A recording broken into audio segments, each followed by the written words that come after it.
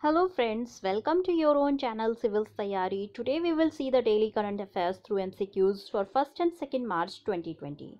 So let us see the first question for today. With respect to Ekam Fest, consider the following statements. Statement number 1, it is being conducted by National Handicapped Finance Development Corporation.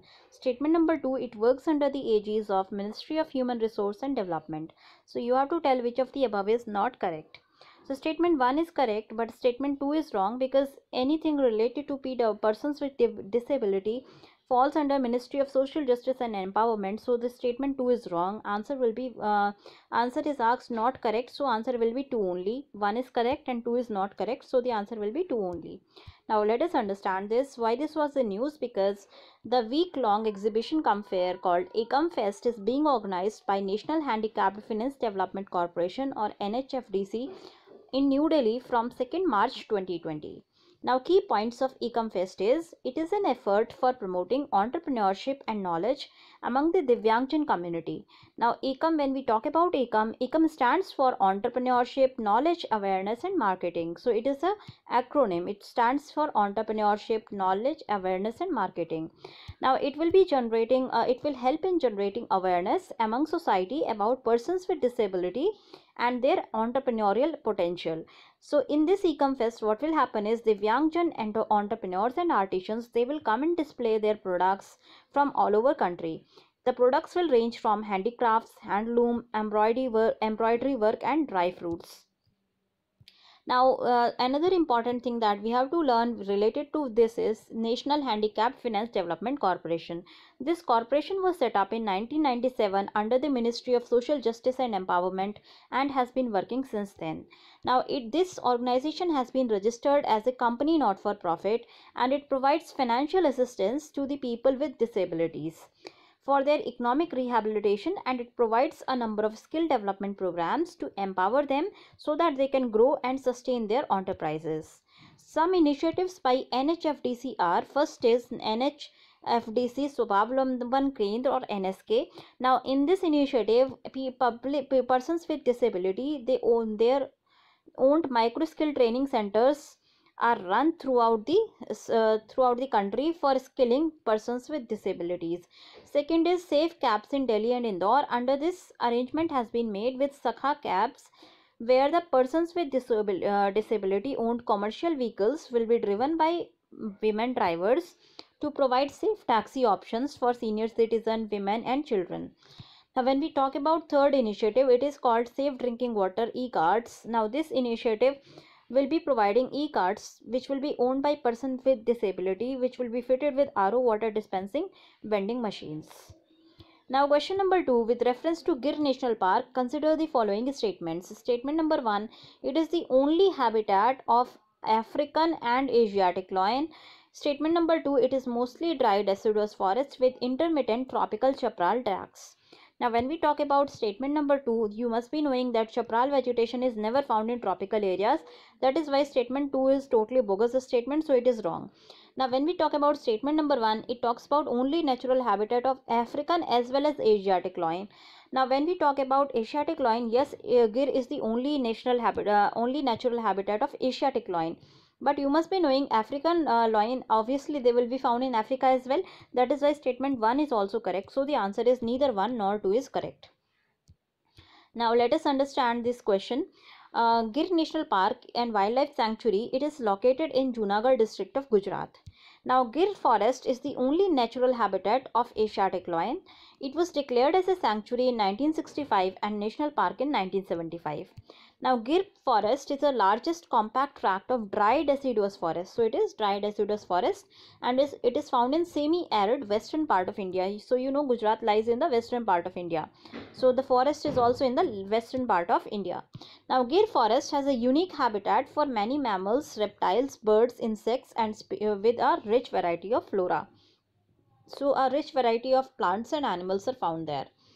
Now, when we talk about Gir, Gir is also linked with some uh, uh, with a tribal uh, tribal population called Maldharis. They have survived through the ages by symbiotic relationship with lion. Maldharis are religious and pastoral communities which live in Gir. Their settlements are called nesses. So sometimes you may be asked where are Maldharis living. So they live in the Gir forest. Some other nat- national parks of Gujarat are Blackbuck National Park, Van- Vansda National Park, and Marine National Park. Now, why this was in news? This was in news uh, today because a, a, a cub of the leopard was adopted by a lion asiatic lion so that was that is a very unique symbiotic relationship adoptive relationship that we had seen in wild that is why gir national park was in news today now when we talk about asiatic lion asiatic lion's scientific name is panthera panthera leo persica and habitat is gir national park and wildlife sanctuary now they have lot of threats they are vulnerable to diseases encroachment forest fires natural calamities grazing then collection of fuel wood non-timber forest produce, poaching, tourism, religious pilgrimage and accidental deaths due to human causes and negligence. Now, a very uh, important piece of news is in 2018, cani- canine distemper virus was responsible for death of more than 25 lion in the Gir forest of Gujarat.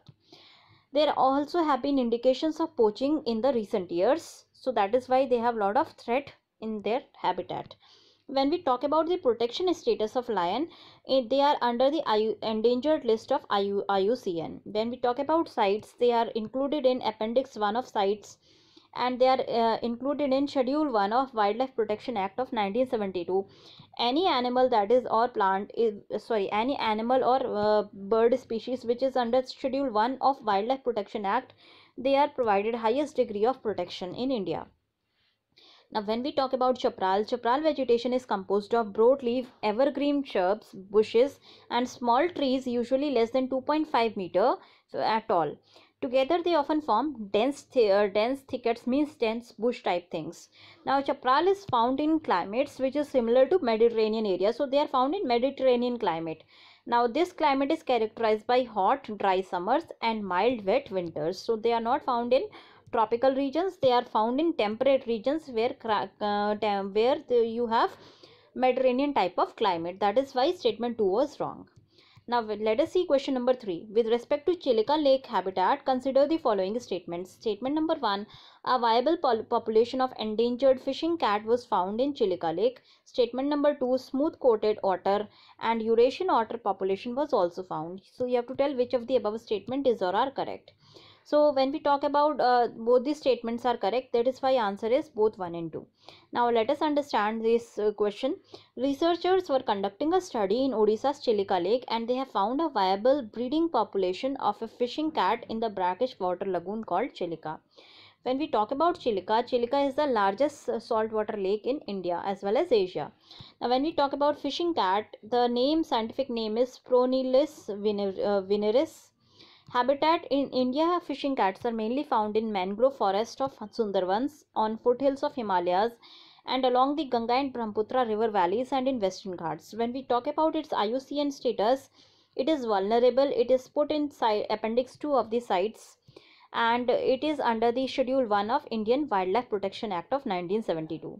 Now, when we talk about smooth coated otter, its scientific name is Lutrogale perspicillata now, habitat is distributed throughout India from Himalayas to south. Protection status it is vulnerable. It is under uh, Appendix 2 of CITES and it is under Schedule 2 of Indian Wildlife Protection Act. If we talk about Eurasian otter, its scientific name is Lutra lutra. Its habitat is throughout Europe and Asia from Ireland in west as far as eastern Russia and China. They are also found in North Africa, that is Morocco, Algeria, and Tunisia, and Middle East, that is Israel, Jordan, Iraq, and Iran. When we talk about their IUCN status, they are near threatened. They are under Appendix 1 of CITES and they are under Schedule 2 of Indian Wildlife Protection Act. Now, question number 4 with respect to Raider 10, consider the following statements. Raider 10 has been co developed by HEMRL Pune and the IISc Bangalore. Statement number 2 it will be used for study of particle physics. Now which of the above statement is or are correct? So statement 1 is correct but 2 is wrong. It is not for particle physics. That is why the answer is 1 only. Now let us understand this uh, question. Now, an explosive detection device called Radar 10 was unveiled at the National Workshop of Explosive Detection in Pune, Maharashtra. The workshop was organized by High Energy Material Research Laboratory, which is in Pune. Now, key points of this research, uh, key points of Radar 10. Radar 10 has capability to detect 20 explosives within a distance of 2 meter. So, uh, in within a distance of 2 meter, it can detect a large number of explosives. The bulk explosives in a concealed condition can also be detected by this device. So the data library can be built in the system to expand its capability to detect a number of explosives in pure form as well as in contaminant form. Device has been used has various application including narcotics. It can be used for detecting narcotics for local police, for customs and other detection agencies who need to detect various elements which may be explosive or non-explosive in nature. When we talk about Radar 10, it has been co-developed by HEMRL Pune and IISc Bangalore. Now, if we talk about HEMRL, it is it stands for High Energy Material Research Laboratory, which is situated in Pune. HEMRL is a premier laboratory of DRDO it is involved in basic and applied research in high energy materials. Now, what is a high energy material? High energy material are compounds which store chemical energy. Such materials on stimulation by mechanical, thermal or electrical devices, they will undergo rapid destruction and they give out heat, light, sound and large volume of gases. So, the amount of energy released varies with the properties of materials such as composition, structure, density, heat of formation and decomposition etc. Some examples of high energy materials are propellants which are used in rockets, then pyrotechnics used in festivities, explosives used for military purposes, then blasting chemicals etc. All these are high energy materials. Now question number 5 with respect to Dwar Praday Yojana consider the following statement. Statement number 1 it is a centrally sponsored scheme for doorstep delivery of government services. Statement number 2 it is being started on a pilot basis in Indore. So statement 2 is correct but it is not a centrally sponsored scheme it is a scheme of state government that is why statement number 1 is wrong so the answer is 2 only. Now let us understand this Yojana. Dwar Praday Yojana or door delivery system is a pilot project that was started in Indore by government of Madhya Pradesh. Now when we talk about this scheme, the applicants within the boundaries of Indore Municipal Corporation, they will get five types of documents at their doorstep. Documents are domicile certificate, income certificate, birth certificate, death, death certificate, and copy of Khasra Khatoni. Khasra Khatoni is a land ownership document.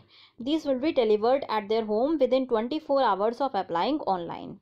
Now the administration has engaged a local courier agency which delivers the documents after collecting them from Public Service Center or PSCs. The central idea will be improvement of government service delivery mechanism. So this is a very good idea.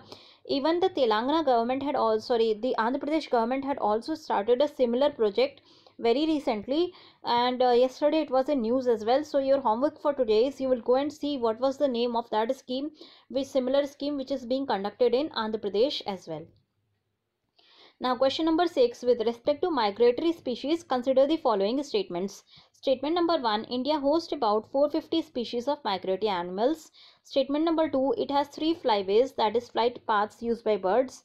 The Asian, uh, Central Asian flyway, East Asian flyway and East Asian, Australian, East Asian or Australasian flyway. Now, which of the above statement is or are correct? So, all both these statements are correct. That is why the answer will be both 1 and 2. Why this was a news? This was a news because with addition to a wildlife list put out by CMS, scientists say that the total number of migratory fauna in India is 457 now.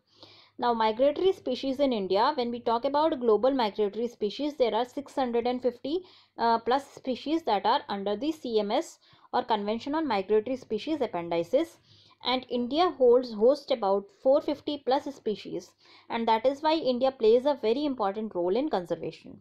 The Zoological Survey of India had for the first time compiled a list of migratory species of India under the CMS before the conference of parties which was held in Gandhinagar in Gujarat recently. Now various species that were mentioned were first thing India has three flyways uh, that is the Central Asian flyway, the East Asian flyway and the Australasian flyway. Now when we talk about migratory species in India, uh, 41 species of birds are there, followed by uh, ducks which are 38 that belong to family Anatidae. Uh, the estimated estimate of 44 mammal species are there uh, which was there earlier now it has risen to 46 the largest mam group of mammals that belong uh, that uh, belong to india are bats then dolphin is the second largest number of mammals that are that migrate in india. Then fishes make up another important group of migratory species. 22 species of fishes including 10 sharks and 10 ray fish are also found in india. Then seven reptiles which include five species of turtles indian gharial and saltwater crocodile are also among cms species that are found in india so that is all in news today. Thank you so much. If you like the video please click the subscribe button and uh, spread the word. Thanks a lot